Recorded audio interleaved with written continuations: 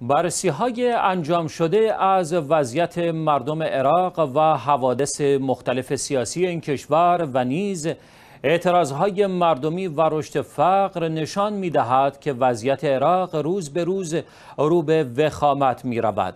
این موضوع زنگ خطری جدی برای دولت و مردم عراق است زیرا خطرهای زیادی را در پیش روی عراق قرار می دهد از جمله بازگشت بازماندگان رژیم سابق افزایش نفوذ کشورهای مختلف منطقه در عراق و از همه مهمتر قدرتمندتر شدن نیروهای تروریستی از جمله داعش در عراق علی اکبری گزارش می دهد. اعتراض های مردمی در کشور عراق که در ابتدا تنها به دلایل معیشتی و اعتراض به خدمات آغاز شده بود به شکل دیگری ادامه دارد. برای مثال صدها تن از معترضان عراقی تظاهراتی را برای دومین روز متوالی مجددا در استان نجف اشرف برگزار کردند. این معترضان عراقی مقابل ساختمان دولت محلی تجمع کرده و با سر دادن شعارهایی خواستار برکناری لوی یاسری استاندار نجف شدند.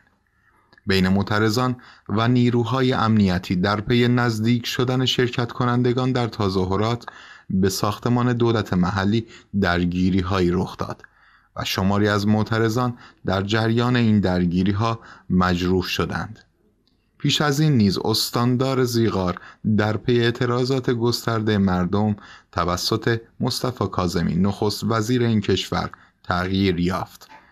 در خبری دیگر از عراق کمیساریای عالی حقوق بشر عراق نسبت به خطراتی که امنیت غذایی ملی این کشور را تهدید می کند هشدار داده و از دولت خواست برای بازگرداندن تعادل غذایی به گروه هایی که در قبال افزایش قیمت کالاها و مواد غذایی آسیب پذیرتر هستند تدابیر عملی اتخاذ کند.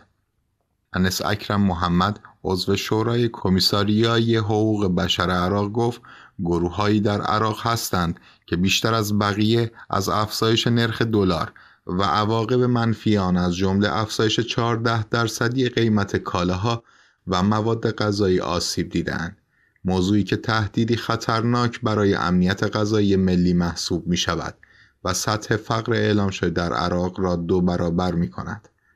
محمد با تاکید بر اینکه چنین موضوعی بیانگر ضرورت مداخله دولت و وزارت بازرگانی برای کاهش چنین تبعاتی است اظهار داشت. دولت باید با جدیت و به صورت برنامه ریزی شده با گزارش اخیر برنامه جهانی غذا در مورد عراق برخورد کند. گزارشی که به خلل در برنامه های دولت و تأثیر آن در بازار و سطوح معیشتی و امنیت غذایی و انسانی اشاره کرده بود. برنامه جهانی غذا وابسته به سازمان ملل متحد اخیرا در گزارشی با اشاره به اینکه سطح فقر در عراق از مرز 31 درصد فراتر رفته است خواستار کمک های بیشتر کشورهای ثروتمند به عراق شده بود. وضعیت مردم عراق و حوادث مختلف سیاسی این کشور و نیز اعتراض های مردمی و رشد فقر نشان می دهد که وضعیت عراق روز به روز رو به وخامت می رود و این زنگ خطری جدی برای دولت و ملت عراق است.